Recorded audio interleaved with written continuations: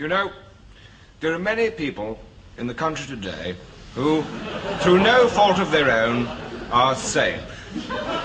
Some of them were born sane, some of them became sane later in their lives.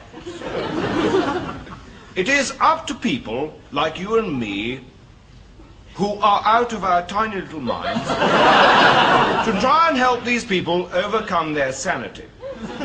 You can start in small ways with ping pong ball eyes. Isn't a funny voice? And then you can paint half of your body red and the other half green.